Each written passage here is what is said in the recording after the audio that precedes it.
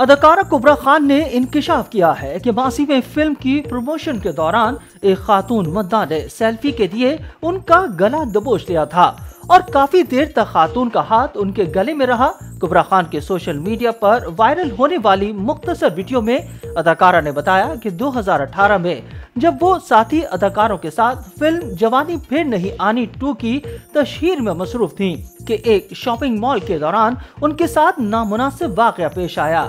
अदाकारा का कहना था कि अवामी तकरीबात में शोबिस शख्सियात के साथ बदतमीजी के वाकयात पेश आना मामूल की बात है और लड़के हों या लड़कियाँ, वो बदतमीजी करती हैं।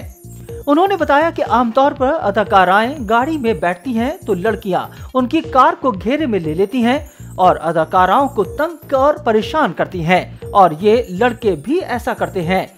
कुबरा खान के मुताबिक अवामी तकरीबात के दौरान साथी अदाकारों और सिक्योरिटी अमले के होते हुए भी उन्हें तंग किया जाता है और बाज नामनासिब वाकयात भी पेश आ जाते हैं। उन्होंने माजी का किस्सा याद करते हुए बताया कि वो फहद मुस्तफ़ा, हिमायू सहित वासे चौधरी और अहमद अली भट्ट समेत दीगर साथी अदाकारों के हमरा अपनी फ़िल्म जवानी फिर नहीं आनी टू की प्रमोशन में मसरूफ थी कि एक खातून मद्दा ने उनका गला दबोच लिया था। कुबरा खान ने बताया कि खातून बंदा उनके साथ सेल्फी खिंचवाने की ख्वाहिशमंद थी और सिर्फ़ इसीलिए वो उन तक पहुँचना चाहती थी। उनका कहना था कि खातून ने सिक्योरिटी अमले और अदाकारों के हिसार के बावजूद उनके गले को दबोच दिया और खातून का हाथ उनके गले में काफ़ी देर तक रहा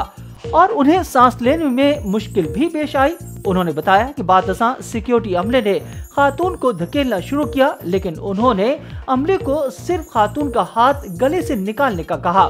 क्योंकि खातून की कोई गलत नियत नहीं थी, वो सिर्फ़ उनके साथ सेल्फी खिंचवाना चाहती थी। कुबरा खान ने एतराफ किया कि अवामी तकरीबात के दौरान शोबिस शख्सियात के साथ इस तरह के नामनासिब वाकयात पेश आते हैं, जबकि नौजवान लड़कियाँ और लड़के बदतमीजी भी करते हैं।